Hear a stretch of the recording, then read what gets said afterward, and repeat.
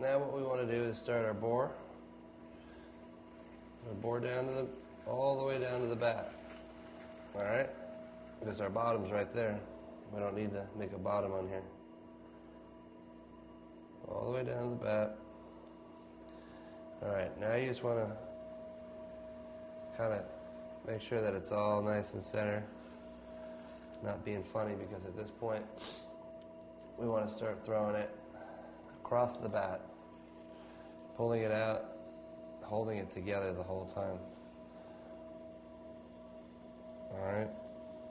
And you got to do this nice and slow, be very deliberate, and kind of feel your way.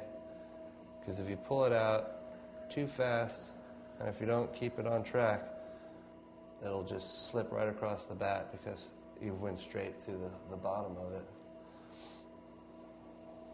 So just keep pulling it out and compressing the top, all the while not letting it get all. If you get it, let it get all like that, yeah, you got to come back and you got to straighten it up.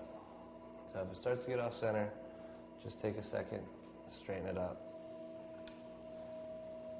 Just like that.